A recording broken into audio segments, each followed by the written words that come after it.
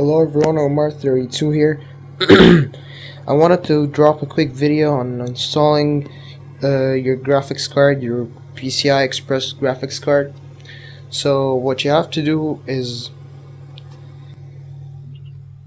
free up spaces for the slots of the graphics card, like, like so.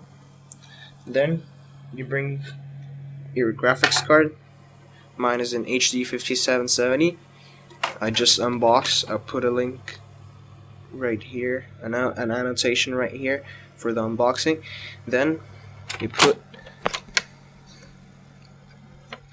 you put these pins, these PCI pins, into the socket like so, and you wait for a clicking noise, as you can hear. Then you close these up either by screwing them in or if you have a CM690 case you just close them up. Then you get your your 6 pin cable from your power supply from your power supply and then you connect to it and wait for a clicking noise also. So that's it for the video. Thanks for watching everyone. This was Omar32 peace